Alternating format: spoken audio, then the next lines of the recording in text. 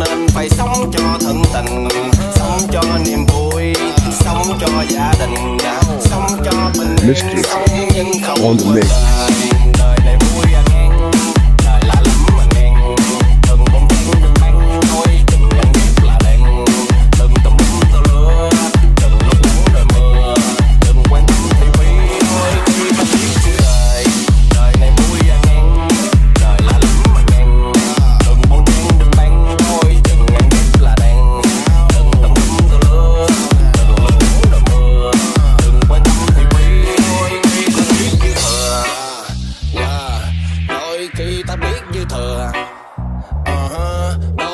tôi biết như thừa